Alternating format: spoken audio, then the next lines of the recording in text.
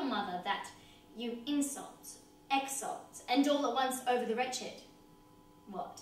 That you have no beauty, as by my faith I see no more in you than candle may go dark to bed. Must you be therefore proud and pitiless? Why, what means this? Why do you look on me? What's my little life?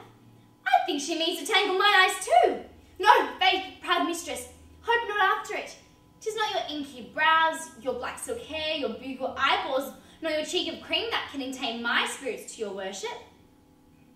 You foolish shepherd, wherefore do you follow her, like the foggy south, puffing with the wind and the rain? You are a thousand times a proper man than she a woman. Tis such fools as you that make the world full of ill-favoured children. But mistress, know yourself down on your knees and thank heaven, fasting for a good man's love. For I must tell you friendly in your ear, seldom you can. You are not for all markets. Cry the man mercy, love him, take his offer. Is most foul, being found to be a scoffer. Take her to thee, shepherd. Fare you well.